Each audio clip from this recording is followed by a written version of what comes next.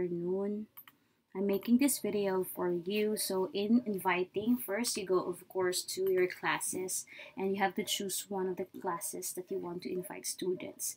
For example, we'll go in this class and we go to people, just click people, then add.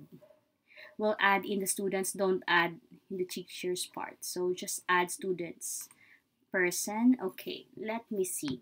We can use actually this link to give it to the class, but as what Sir Louis said, is more secure if we teachers will invite them. So let's have, for example, uh, this Sybel Joy Labis, okay, in the students. That's my that's me still.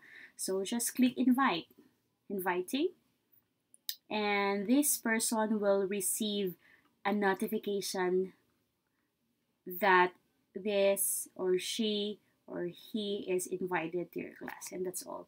When you see this bold and uh, with uh, unlike this one is invited and this one is not so this one already accepted my invitation to be part of my class. But this one still in their um, gmail.